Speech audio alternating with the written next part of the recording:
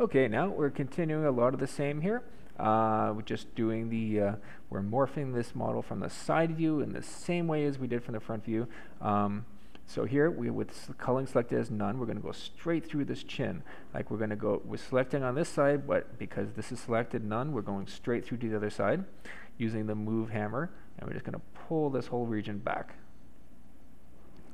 So anytime now, we're going to pull it back.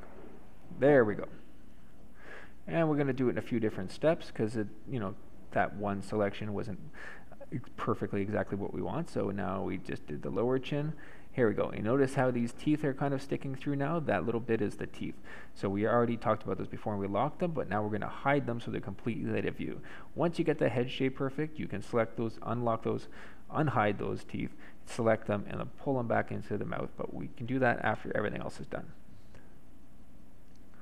And again, we're just going to adjust the chin here a bit. We're not going to worry too much about the neck because in the photograph, she's leaning forward with her head of it. Her head's kind of sticking forward. Well, the model the 3D model is perfectly straight up. So we're not going to worry about that. We're just worried about the head area here up here. And so a lot of the same here. We're just going to uh, toggle like the, the lighting, use the G key, lighting on and off, see this nice and flat.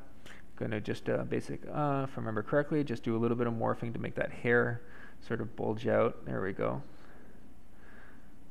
Just to give it a little bit of depth there. It looks a little funny from the front, so we're going to tweak that. And he here we're using the, sh the, uh, the shiny gray display mode. This is really good for morphing um, because you can see all the little nooks and crannies and details. These highlights will give away any sort of bad geometry you might have or any little crevices that you're not expecting. And you can get that in the viewports display mode um, section. There we go. And uh, pretty much this is morphed the way we like it. And um, we're ready to start applying our texture. And that's going to be the par next part of the video is how to, uh, to uh, use these photo references that we just did. And I'm renaming that morph Kate. Um, so we are going to uh, use these photo references again, but this time to actually paint the texture onto this newly reshaped uh, model. So stay tuned guys, and I'll see you guys in the next video.